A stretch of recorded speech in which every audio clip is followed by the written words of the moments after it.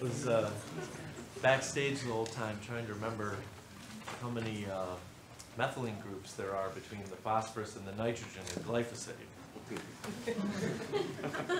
There's one. I'm very, very thankful to have the chance to talk to you today about something that's very, very close to my heart.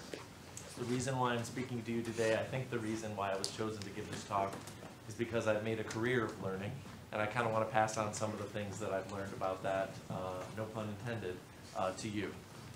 Next slide. I have a little outline here. We're going to talk a little bit about what learning actually is, uh, what the literature tells us it is, especially when it comes to behavioral science. We're going to talk a little bit about some lies you've been told, probably since you were very, very young. And then maybe spin that around. Let's not do the negative, let's end on the positive and talk about what some good learning um, um, strategies would look like. Um, we'll call them uh, characteristics. And uh, we're going to talk a lot, uh, like many of our speakers actually have tonight, about metacognition. So metacognition is when you think about the way that you're thinking. It's very, very important that you think about what you're thinking. Even if you have to take a little bit of a break, stare at a blank wall, as I sometimes say, sip a cup of hot tea, and actually think about what's going through your brain at that moment. It's really, really important. Next slide. So what is learning? Research shows that most learning takes place outside the classroom. Well, that's pretty good since I'm a teacher. It's always good to read that in the literature. But it's true. Learning is highly emotional. Everybody remembers the fishing trip with grandma or like cooking cookies with grandpa or something like that. And no one ever remembers how many methylene groups there are between the phosphorus and the nitrogen in the structure of glyphosate, right? It also needs struggle. This is very, very important because you get a lot of students and a lot of teachers that talk and they say, oh, the most important part about my education was that flash. And I woke up one day and then I just remembered everything about dimensional analysis that I could do it in my sleep. That's not actually what learning is, at least not what the literature is telling us. The literature is telling us it's more of a gradual awakening. A couple steps every day, a couple steps every week, a couple steps every month. Think like it's hard to when you're a young person, several years or decades hence. What else is learning? Students who've actually been taught how to learn. You have to think about that for one second. So let's all metacognate just for a couple seconds. Students who are taught how to learn perform better and retain better information, and most important of all, especially for someone who teaches everybody's favorite subject, organic chemistry, very early in the morning, a couple days of the week, you have a healthier attitude towards your own education. Learning how to learn is a significant investment. It takes a lot of time, it takes a lot of patience, but it pays off for people who actually engage it, hopefully making things worthwhile. So my wife is a historian, and a number of years ago she introduced me to James Loewen's books. If you haven't read them, you definitely have to pick them up. So James Loewen explores all the things you've been told about American history that basically is straight up lies. And his books are very, very popular, New York Times bestseller for the national thing. What I decided to do is take a little bit of a spin and talk about some things that you've been lied to when it comes to the idea of learning. Learning is not fast. Learning takes a very, very, very long time. I'm in my mid 40s, and there's things on a near daily basis that I am still learning. And if at any moment you, as one of my students or someone who sees me around Detroit Mercy, sees me and says, that guy's got it together, you couldn't be more wrong. Because every single morning I have to do the same thing you have to do look in the mirror and decide to follow through and go to work that day. And if you're lucky, you choose a career where you don't have to work too hard to make that decision. Learning is very, very gradual.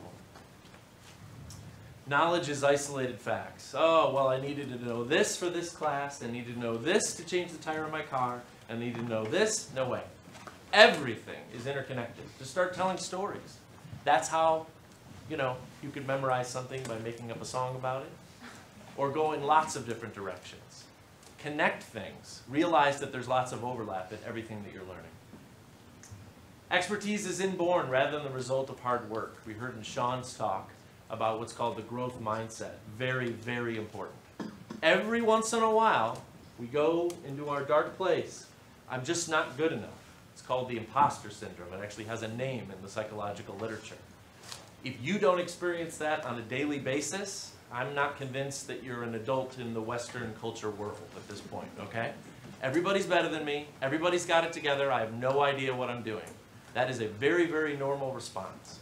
But is not because someone woke up one day and figured everything out. Mostly it's because they had an attitude towards what they wanted to change that we call the growth mindset. Multitasking is the path to balance. Ugh. This is the one that I struggle with the most. When I read the theory paper, it was only two years ago, on inattentional blindness, honestly, I almost started to cry. This paper basically said, do you realize that saying yes to everything and being busy all the time is the ultimate form of being lazy? Because you're not getting anything done. And I pretty much do that on a daily basis. Struggle to this day to try to figure out how to manage every part of my life, and it's tough.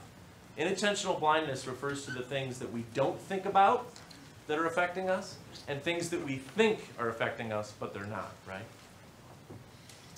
Learning is tidy and methodical. Number one, if you have never been at a table or a desk with paper strewn all over the place, maybe an organic model kit, who knows what, Obviously, uh, your generation, we're gonna, deciding we're going to call you the plurals. No more than five screens in front of you at all times, right? Phone, tablet, laptop, video game, TV at all times. These are my kids, basically, my biological children that I'm trying to raise. Learning is very, very messy. Learning is very, very messy. It takes a lot of work to get it right. And when someone tells you, oh, everything just clicks, it's easy, just do this problem and you'll be fine, then they're telling you a lie. And I think that there's a better way to look at stuff. Let's talk about what good learners do. Because the number one thing on this list is something that's very, forgive me, elemental. And that's being curious. I was just invited the other day to sit at the table with some of the big dogs at the university. And I was embarrassing myself inside my own head. Why am I here? I don't belong here. I'm just the organic chem prof. Everybody thinks I'm a young guy, even though actually I've been around at the university for almost two decades. And maybe that's a blessing, maybe it's a curse. But I remember being really small and always being curious about everything.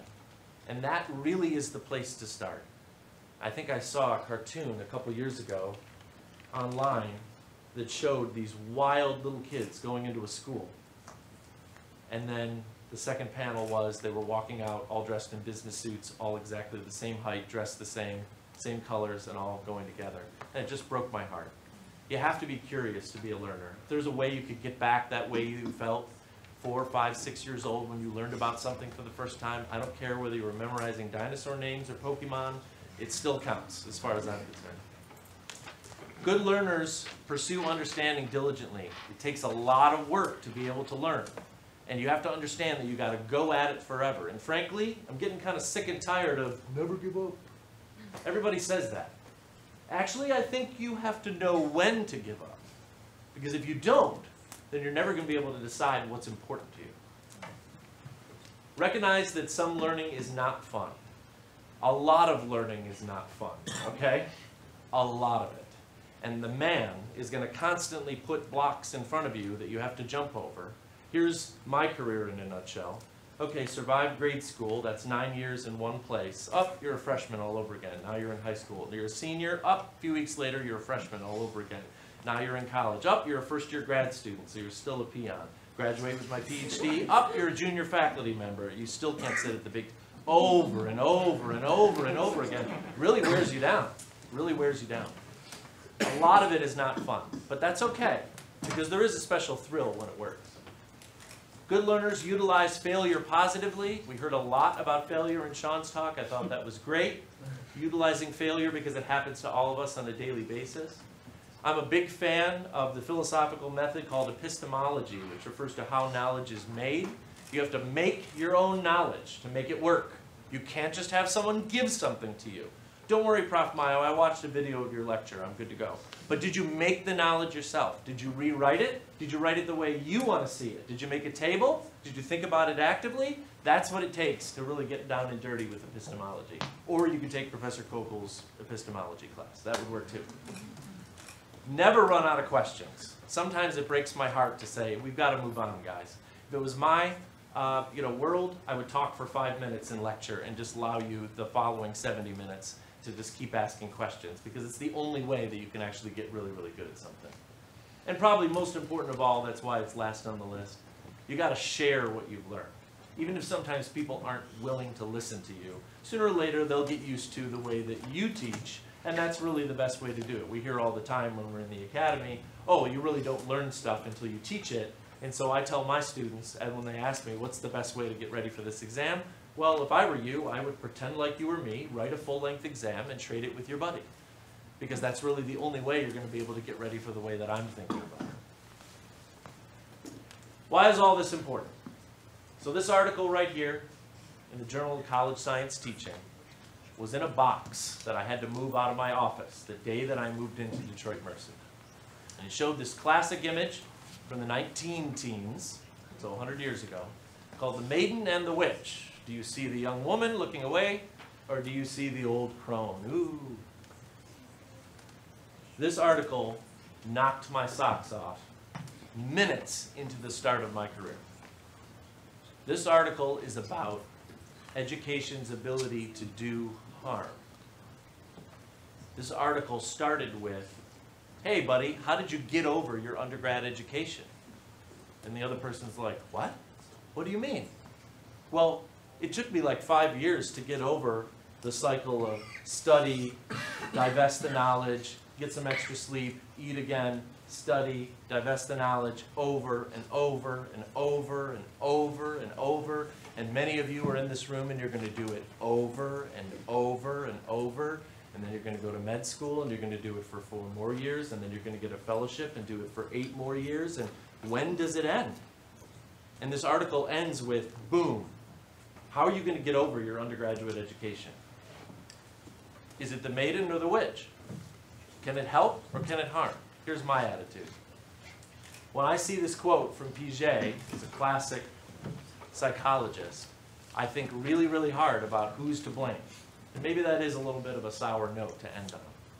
But I tend to take the blame to myself. Good leaders always take way less of the credit than they're due and way more of the blame. And if I'm the captain of my classroom, I have to think very, very hard about how to teach my students how to learn the material. Not just the material, but to teach them how to learn it. And until you really get to the point where you're learning how to learn, there may be something you're missing. I think it's important to look at this from the perspective of the real differences that we have with information flowing as fast as it is now. There isn't just a step up to learning something. You may have to unlearn something you already know. And if you don't know how to learn, or you haven't learned how to learn, that could be big trouble. I really appreciate the chance to talk to you all today. Thanks.